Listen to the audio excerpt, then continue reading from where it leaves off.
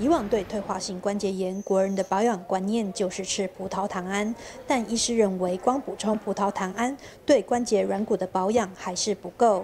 在针对软骨的胶原蛋白这一个这一块的补充，其实是很重要的。就它的结构，我们必须要维持。年纪越大，当然流失会越快啊，而且软骨的细胞的活性也会越来越差。除了葡萄糖胺，研究也发现软骨中含有第二型胶原蛋白。医师认为补充第二型胶原蛋白也不错。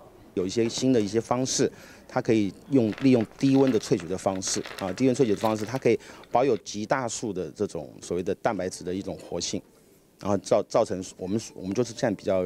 比较流行，大家所听过的叫非变性的那种第二型的胶原蛋白。专家建议，除了吃保养品，也可以多补充富含维他命 C 的蔬果，还有适度运动，一样能保护关节软骨。大爱新闻黄彩启、柯信志台北报道。